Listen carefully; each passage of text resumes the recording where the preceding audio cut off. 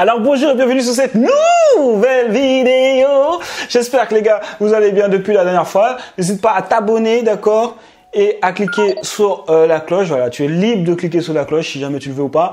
Euh, donc moi, c'est Jonathan Hachi.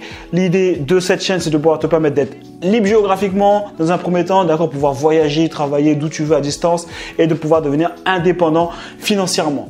Ok, donc tu as tout en description si jamais tu veux en savoir plus. Maintenant, passons directement au sujet de la vidéo. Influencer, manipulation, on va voir ensemble quatre conseils pour ne pas se faire manipuler, d'accord? Donc tout ce que je vais te dire, c'est tiré du livre euh, Le petit traité de manipulation à l'usage des, des honnêtes gens de Robert Vincent. Ok, donc euh, je, suis en train, je, suis en train, de m'apercevoir que juste dans le titre, il est en train de nous manipuler en fait. il est fort, il est fort. Euh, tu comprendras pourquoi. Euh, je pense que c'est le, le, le, quatrième, la quatrième technique où en fait il parle de ça. Je viens juste de m'apercevoir de ça en même temps. Donc il est fort, Robert. Il est fort. Donc alors pourquoi c'est important Pourquoi je fais cette vidéo là Donc déjà c'est important déjà pour toi pour pas te faire manipuler, d'accord? Et aussi bah, pour pouvoir euh, bon manipuler, j'aime manipuler, j'aime pas trop ça parce que manipuler c'est quand même un aspect un peu genre euh, négatif mais pour pouvoir influencer les gens euh, dans les bonnes choses. Parce que des fois, les gens, en gros, si tu les influences pas, ils passent pas à l'action et ils n'ont pas de résultats. Les gens que j'ai coachés qui ont des gros résultats, j'ai dû les influencer à passer à l'action. Si je les avais écoutés eux, ils ne seraient jamais passés à l'action. Ils auraient dit non, etc. Et aujourd'hui, ils me remercient. Tu vois, ils me disent heureusement que tu t'as assisté, etc. Enfin, assister, c'est pas vraiment assister, mais heureusement, j'ai su les influencer pour qu'ils passent à l'action parce que leur vie, elle a changé carrément. Donc voilà pourquoi je fais cette vidéo. Donc sois bien attentif et comme il dit Robert, je sais que tu es une personne honnête et que tu utiliseras ces stratégies à bon escient. Première euh, technique, stratégie, comme on veut, c'est euh, l'engagement libre. Alors l'engagement libre, ça consiste en quoi? C'est que lorsqu'une personne prend sa propre décision, même s'il s'avère qu'après sa décision n'était pas bonne, eh ben, la personne aura tendance à rester dans la même position et d'aller jusqu'au bout. D'accord? C'est ce qu'on appelle l'engagement libre. Donc pour ça, ils ont fait, euh, ils ont fait une étude. Ils ont testé en fait. il y avait un professeur qui avait dit, euh, donc il y avait deux classes, d'accord? Euh, la première classe, le professeur a dit oui. Euh, donc je sais plus, imaginons que c'est des gars qui sont en master, tu vois, pour un exemple comme ça pour mettre le contexte.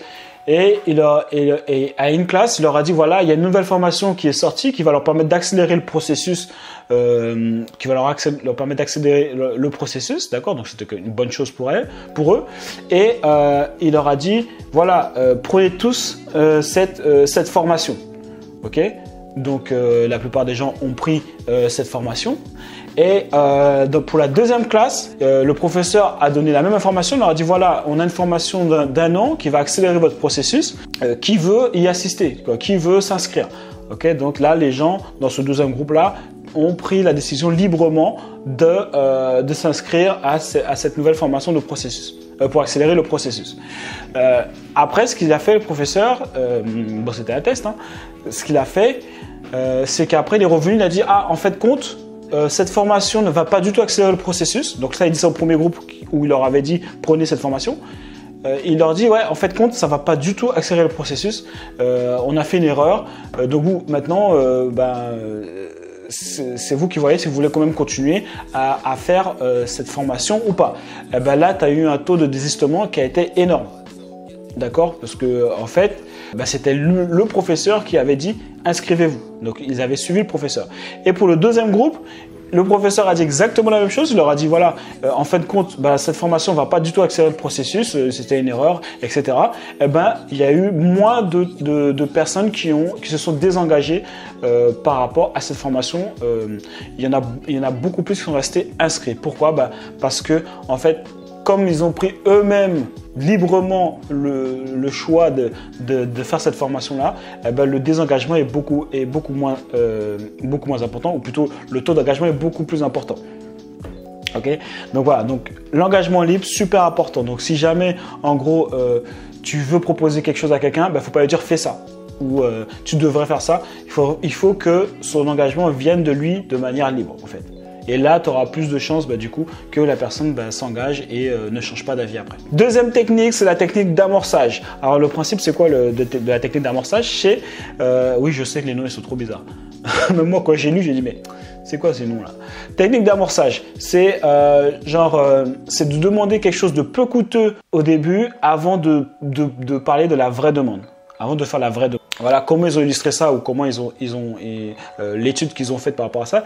C'est un gars par exemple qui était dans, dans la rue. Ils ont fait deux expériences. La première, c'est le gars, en fait, il, voilà, il dit que euh, il, voit des gens qui passent dans la rue et il leur dit Est-ce que, euh, monsieur, vous pouvez euh, me donner un peu d'argent, de la monnaie, pour que je puisse me mettre dans, pour que je puisse payer le parc-mètre D'accord. Et, et, là, il, essuie énormément de refus. D'accord. Deuxième chose qu'il fait, qu'il met, en place, c'est de dire Ok, on va demander d'abord l'heure et après on va leur demander euh, la monnaie. Donc c'est ce qu'il fait. Il demande l'heure. Oui, bonjour monsieur, est-ce que je pourrais avoir l'heure s'il vous plaît? Oui, il est 3h40. Ok, super, merci beaucoup. Est-ce que vous aurez un peu de monnaie pour pouvoir, euh, euh, pour que je puisse mettre dans le parc-mètre Parce que là, je n'ai pas de monnaie sur moi. est-ce que vous pourriez me dépanner? Et là, bah, la personne, elle a eu beaucoup plus euh, de, euh, de conversion, euh, entre guillemets.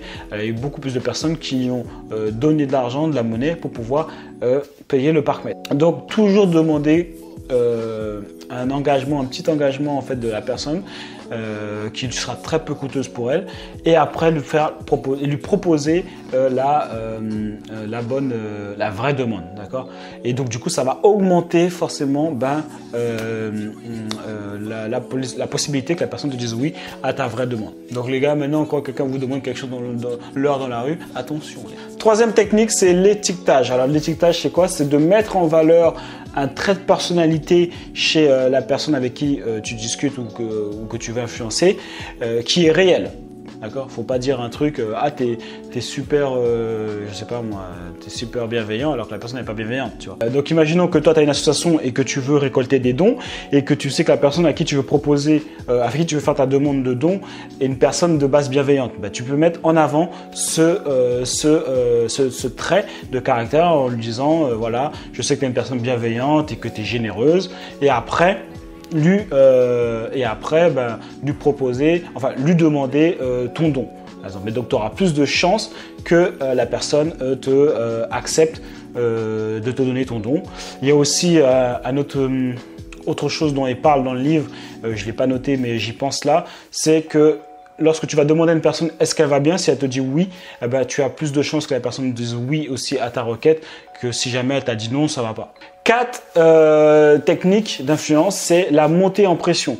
Alors la montée en pression consiste en fait à faire une première demande qui va, qui va demander beaucoup plus en termes de, euh, qui va demander énormément en termes de, de, finances, de contraintes ou de temps par exemple, donc qui va, qui va forcément euh, aboutir à un refus avant de proposer l'offre qui euh, sera plus raisonnable. Ok? Donc du coup ça fait genre la personne elle dit ah mais non j'attends quand même et après quand tu proposes le truc derrière elle dit ah ouais c'est vrai que ça va tu vois. Par exemple comment ils ont testé ça? Il euh, y, a, un gars en fait qui travaillait pour une association des, personnes euh, en réinsertion qui étaient en prison, d'accord, pour pouvoir leur permettre de se réinsérer dans la vie. Euh, et ce qu'il a fait, c'est que il est allé voir une dame, d'accord, donc il lui a dit voilà, est-ce que ça vous intéresserait d'accompagner des jeunes délinquants, d'accord, en but, de, de, les réinsérer dans la vie, deux heures tous les samedis durant deux heures, deux ans donc deux heures tous les samedis durant deux ans. Donc là, même si tu es la plus gentille de toutes les mamans, de tout ce que tu veux, euh, là, à un moment donné, tu te dis, ah non, je peux pas, c'est trop. la personne te dit non. Il dit, donc le gars, il dit, ok, ok, euh, le gars d'association, il fait, ok, bon, pas de problème. Euh, maintenant, est-ce que ça vous, ça vous dirait, bah, par exemple, de les accompagner juste une heure et demie ce samedi-là, une seule fois? Bah Là, forcément, quand tu proposes comme ça, eh ben, tu as plus de chances que la deuxième, euh, euh, l'offre bah, qui paraît beaucoup plus raisonnable que la première, eh ben, soit acceptée. Alors que peut-être que si jamais il est arrivé directement avec la, la, de, la deuxième offre, enfin la vraie offre, euh, eh ben, la personne elle n'aurait pas du tout accepté. Donc c'est une autre façon d'influencer bah, la personne que tu veux qui passe à l'action. Et cinquième technique, stratégie, c'est un bonus, hein, c'est le toucher. Alors les recherches scientifiques ont montré que le toucher favorise l'humeur. C'est même pas favorise l'humeur, modifie l'humeur, te rend plus positif, te fait paraître beaucoup plus chaleureux. rend euh, l'échange agréable et désamorce la méfiance envers les autres. Donc tu as compris maintenant que quand tu vas aller à la FNAC, euh, éloigne-toi du vendeur. Parce que sinon, il va te faire acheter tout le rayon. Ok, donc le toucher, bah, c'est quoi? Bah, C'est que lorsque tu parles, bah, en même temps, tu touches la personne, etc.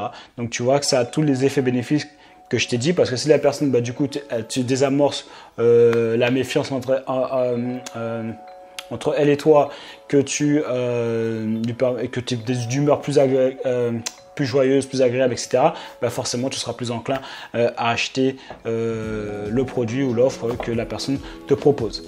Donc voilà les gars, donc vous avez toutes les stratégies, il y en a encore d'autres, d'accord, je ne les, ai pas toutes, je les ai pas toutes partagées, donc tu pourras euh, cliquer dans le lien si jamais tu veux commander le livre et le lire. Donc voilà, c'est tout pour cette vidéo les gars.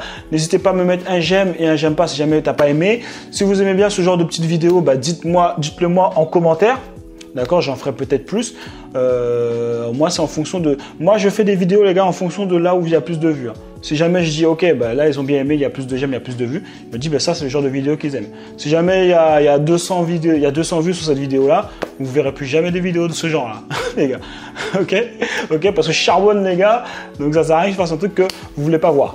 Euh, si maintenant tu es euh, coach, consultant, d'accord, tu as une expertise dans la santé, les relations, euh, dans euh, l'argent, d'accord, tout ce qui est sur le make money. Donc le make money, c'est quoi? C'est comment faire de l'argent, c'est tout ce qui est autour du business. C'est une compétence autour du business, que ce soit un investissement euh, immobilier, trading, que ce soit marketing digital, que ce soit comment créer un compte, pas créer un compte YouTube, mais comment développer YouTube. T'es fort là-dessus, par exemple, sur, sur, Instagram. Enfin tout ce qui est autour du business, ok? tu as tout, tu as, enfin tu as la masterclass, d'accord, pour pouvoir euh, voir les stratégies que j'utilise avec mes clients euh, pour pouvoir atteindre les 10 000 euros par mois rapidement. Ok, donc je sais que ça fait déjà plusieurs fois que tu vois cette annonce. Je ne sais pas pourquoi vous as peur, pourquoi tu veux pas cliquer et assister à la conférence. Il va rien se passer. D'accord euh, Tu vas t'inscrire, tu vas pouvoir assister à la conférence, d'accord? Au pire des cas, si tu veux te désabonner après de la mail list, si c'est ça qui te fait peur, bah, tu le feras. Enfin, il n'y a aucun problème. Euh, sur tous les mails, il y a un petit bouton où tu peux te désabonner. Donc, les gars, à un moment donné, tu ne peux pas juste regarder des vidéos, et dire Ah ouais, j'avoue, je suis motivé, mais tu passes pas à l'action. Ok? Donc assiste à cette, euh, masterclass, euh, tu connais les résultats de mes clients, tu me connais maintenant, il y en a qui ont fait 86 000 dollars en un mois, il y en a qui ont fait plus, il y en a qui ont fait moins. Ah non, non, celui, celui, celui c'est la roquette, il n'y a pas plus. Hein. En un mois, 86 000 dollars, il n'y a pas plus. Il y en a qui ont fait 6 000 en deux semaines. Ok, donc assiste à la, masterclass. Maintenant, si tu n'as aucune expertise, tu débutes, d'accord, tu connais rien en marketing digital, tu n'as aucune idée business, là, à ce moment-là, je te dirigerai faire euh, une formation en ligne offerte, d'accord, c'est dans la description aussi, euh, sur comment créer ton business en ligne et générer au moins 2000 euros par mois. Ok? Donc tu n'as besoin d'aucune compétence, tu as juste besoin euh, d'avoir des coronesses comme on dit et de passer à l'action et de regarder si ça te correspond dans un premier temps. Donc c'est offert. Et si jamais tu veux aller plus loin et vraiment partir là-dessus et faire de l'argent, d'accord, Internet c'est l'avenir. Euh, toutes les stratégies que je te partage, il faut les connaître. Okay c'est pour ça que les grosses entreprises maintenant euh, ben, contactent tous les gens qui sont sur Internet. Tu vois, Internet, mec, c'est l'avenir. Enfin, c'est même pas, c'est déjà le présent même. Ok, donc voilà, c'est tout pour cette vidéo, les gars. Vous avez tout en description si vous voulez passer à l'action et changer votre vie. Et maintenant, les gars, nous, on lâche rien, ok? On reste déterminés. Il y a eux et il y a nous. Choisis ton camp.